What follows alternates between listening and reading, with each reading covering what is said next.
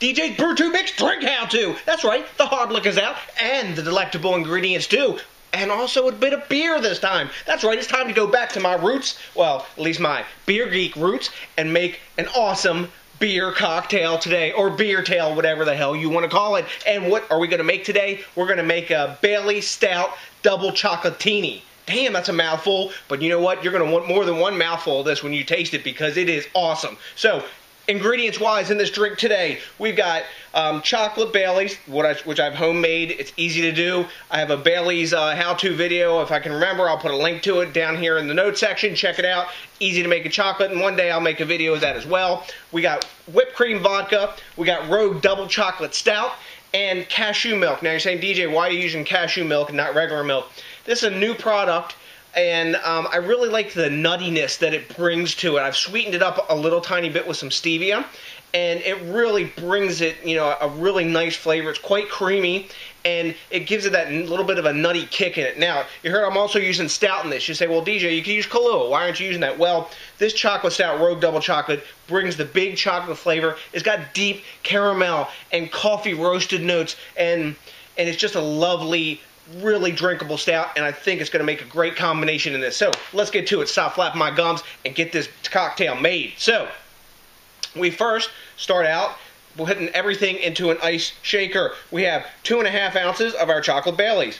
Boom, easy in. Next, we've got an ounce and a half, or actually a half ounce of whipped cream vodka. Boom, in there. Now we've got two and a half ounces to three, depends upon you, of Rogue Double Chocolate Stout that I've let go a little bit flat so it doesn't fizz up too much in the shaker here while we're stirring it. We'll still maybe get a little bit of carbonation in there. And I've got two and a half ounces of the sweetened cashew milk. You can use regular milk too if you want. It's all up to you. Boom, that's all in there. So we've got all of our ingredients in. Easy. We're pouring things into a tin. Now we're going to stir this. This will kick out the rest of the carbonation that's in there. As long as it's plenty flat, you'll be able to see if it's bubbling up because we're going to give this a really gentle shake and then we're going to strain into our martini glass and then we will garnish of course to make it gorgeous. So all done with that? Oh, that's awesome. So we've got our pre-chilled martini glass here that we're going to dump. It's nice and cold. Let's get our top on. And we're just going to roll this ever so gently because we don't want it exploding on us. There is beer in here which is a carbonated product Okay, nice and cold. Man, this thing's freezing. Let's get our glass here and strain pour it in. Look at that, guys. Delicious chocolate milk looking happiness. That's right, you're making a drink, you gotta be happy. You're making either yourself something awesome or somebody you care about something awesome. I'm making one for my missus. She likes creamy, chocolatey drinks like this. So we've got some shaved chocolate. I just took a Hershey bar, used a microplane grater, and then boom, here you go, shaved chocolate. We're not talking anything real fancy. We got another little shot glass here. We'll give you a picture of this when we're done. But check that out, guys. Wouldn't you want to drink that freaking dessert in a glass? Of course you would. Let's get an aroma and see what's up in that department.